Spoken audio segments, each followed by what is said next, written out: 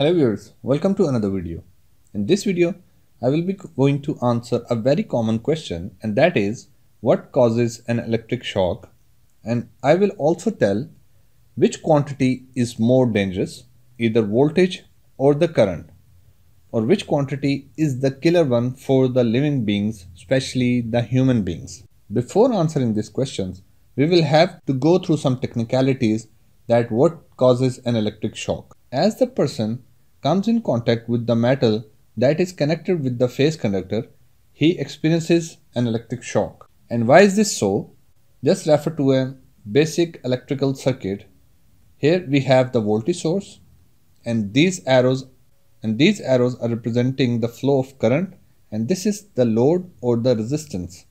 In our case, this is a bulb. So as soon as this switch is closed, the current starts to flow out from this voltage source into this bulb back into the neutral. So similarly, if our body touches a metal that is in contact with this phase conductor, we complete an electric circuit and the current will starts to flow through our body into the neutral and we have completed an electrical circuit. That's why we experience an electric shock because the current starts to flow into the body. And the human body is basically a combination of a resistance and how much current is flowing into the body depends on which part of the body is in contact with the exposed metal. So to answer this, we'll have to refer this Ohm's law which states that voltage is equal to current multiplied by resistance and if you see this relation this is current equal to voltage over R which means that the current which flows into our body depends on the magnitude of the voltage and the resistance of our body. Now we are in a position to answer this question and that is this is basically a current that causes an electric shock or that clamps the body or attacks the heart and potentially resulting in the death. But which quantity causes an electric current to flow through a human body? And this is the voltage.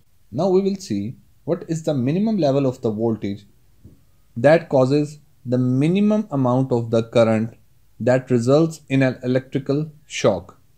And according to many sources, the voltage as low as 42 volts causes this electric shock. And also time is a factor. For example, a current of just 0.1 ampere for a mere 2 seconds can be a fatal.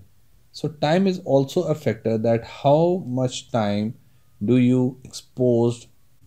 In this table, we will see the amperage effect on the human body.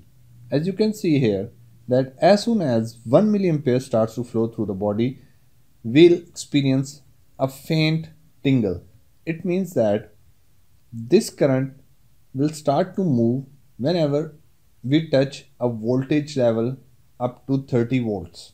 And as soon as the voltage level increases, the amount of the current flowing into the body also increases and with this the reaction or the effect of the current also increases on the body. For example, if we see 50 or 150 milliamps, it will cause extreme pain, respiratory arrest, or death is also the possible. Similarly, at this level of the current, which is 10 ampere, the death is probable. Here you can see that at 10 amperes, it will cause a death. The answer is that basically the current is the quantity that directly affects the human body, but the voltage is the source that allows this current to flow into the body. I hope you like this video. For more interesting videos, stay tuned and don't forget to subscribe our channel. Thank you for watching.